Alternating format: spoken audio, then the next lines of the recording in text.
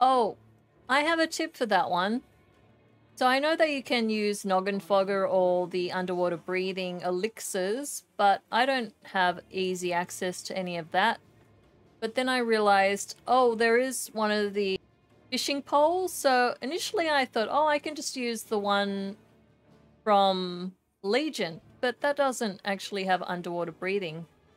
But the one from Wrath, so if you get the fishing pole from that, so you just have to be exalted, I think, with the Kalu'ak. If you get that pole, this one, it has underwater breathing. So all you have to do is have this one equipped and you shouldn't have an issue of having to fight for air. So there's only been like one or two occasions where I haven't had the bubble and I haven't been able to reset my bar and I have like drowned. But yeah, this this should make it a non-issue.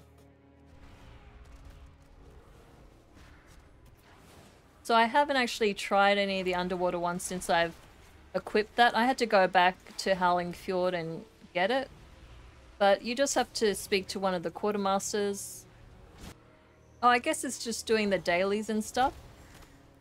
And it should be easier with, you know, all the rep bonuses and stuff now.